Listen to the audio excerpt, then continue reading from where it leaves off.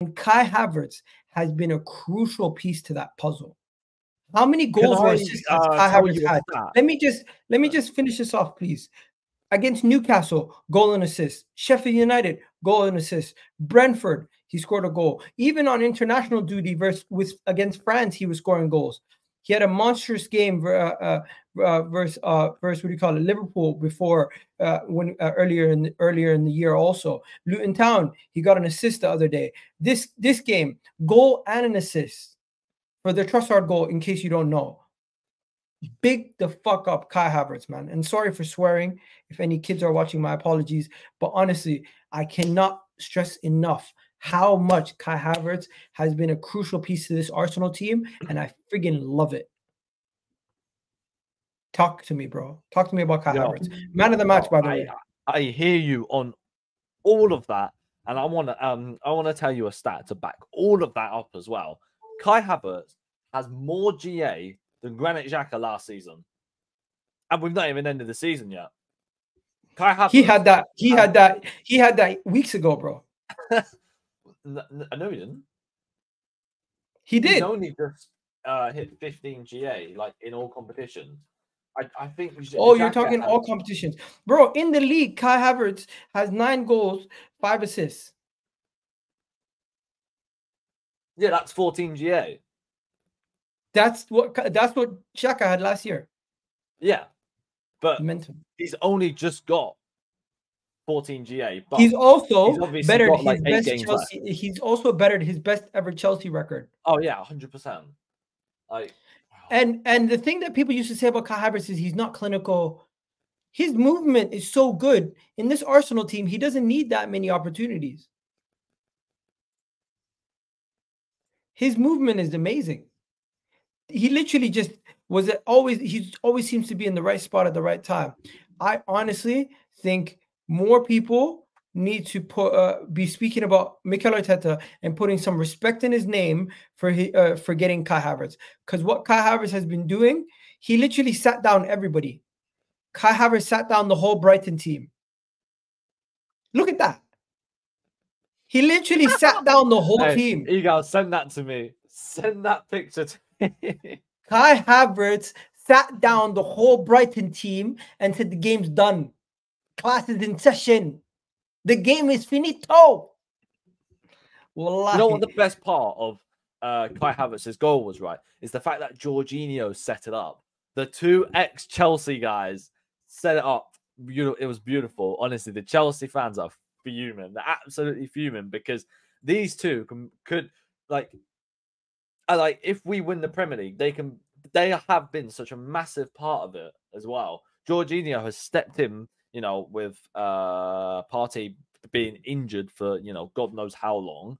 Um, and he's done absolutely brilliantly in the majority of the games. Kai Havertz has come into this Arsenal team like, bro, he went from a shit Chelsea team, right, last season to joining this team, and the expectations for him was so high because all of the rival fans were like, if he doesn't hit, you know, 10 goals or whatnot, he's a failure. And it's like, fucking hold that. Hold let that. me let me tell you something. Thank you, Chelsea. Thank you, Chelsea. And this is why. Let me show you why I'm thanking Chelsea. You want to know why I'm thanking Chelsea? For these two. For these two. While you guys are irrelevant in 10th place, Arsenal Football Club have your former players in Kai Havertz, who won you guys the Champions League, and Jorginho, who is the best player in your team the the and was like second in the Ballon d'Or candidates for um uh, for when he won the Euros and won the Champions League with you guys, and you gave him to us for cut price deals also. 20 million, 12 million. How much was Jorginho? How much Kai Havertz was 65 million down the drain, but he keeps scoring. Listen, I need to know. I need to know how are how are these Chelsea fans gonna feel when after all those years of showing us photos of Anelka, of of Giroud, of Cesc Fabregas, Ashley Cole, when we have Kai Havertz and Jorginho lifting a Premier League trophy at the end of the season. Imagine that. When we uh, if we win this league and we have Jorginho and Kai Havertz lifting that Premier League, you know what I'm gonna say? Brought to you by Chelsea. Spon- no, sponsored, proudly sponsored by Chelsea. Proudly sponsored by your local uh, car park, Chelsea. There you go. Your local Fulham car park. That's what it is. Brought to you by your local Fulham car park. Jorginho and Kai Havertz holding the Premier League. And imagine, imagine if we fucking do the unthinkable and win the Premier League.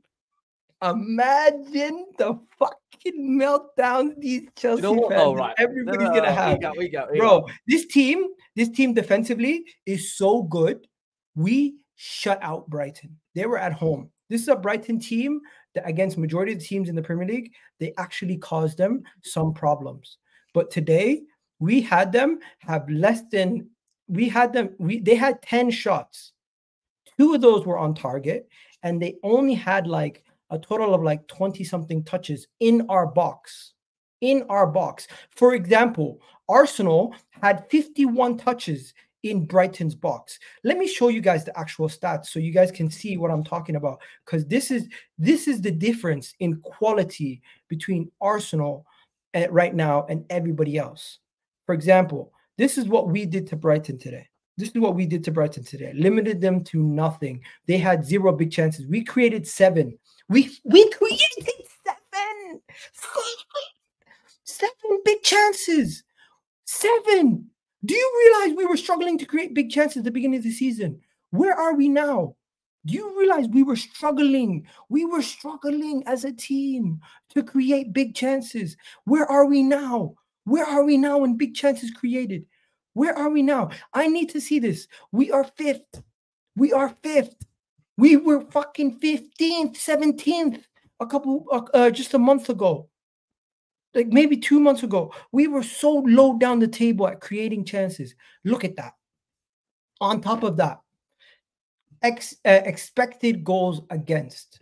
We are not humanly normal. We are not normal. We are not normal. We are not normal with the with the with the defensive uh, with the defensive stats that we have. What we're doing defensively where is it? Let me find it. There was this obviously clean sheets. This is not normal. 14 clean sheets. 14. Do you realize how much of a gap there is between the rest of the teams? We have 14 clean sheets. Seven games remaining. How many more clean sheets could we get? Can I also just add, right? We've got more clean sheets than Chelsea have wins in the Premier. I'm not even joking on that. I'm not even joking. Chelsea have what? wins in the Premier League. We have 14 clean sheets.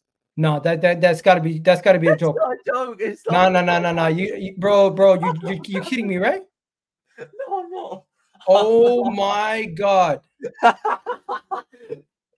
oh my god. Are you serious? Are you serious? Have you checked the league table? I just checked. They have 12.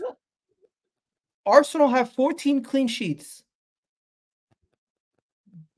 You're telling me that's more victories than Chelsea have. Sorry, sorry. Let me let me let me get my Thank you for watching. This has been Egal Talks Football. If you enjoyed that video, please do make sure you hit that like button, subscribe button. Check out these next two videos right here on each side of me. And of course, you can subscribe right there. Have yourselves a wonderful, wonderful day, night, evening, whatever time it is for you that you're watching this video. I hope you enjoyed it. Don't forget to hit that like button. Peace.